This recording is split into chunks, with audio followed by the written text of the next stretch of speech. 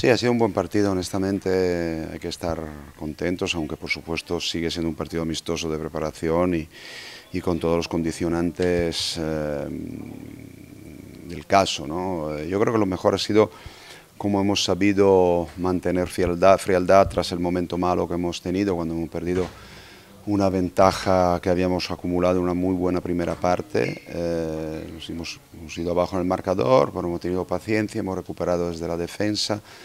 les hemos forzado errores y hemos eh, luego sabido jugar muy bien el cuarto cuarto con eh, personalidad y con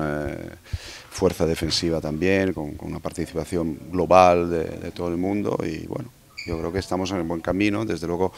queda mucho recorrido, pero los pasos que se han dado hasta ahora están en la, eh, se, han dado en la dirección correcta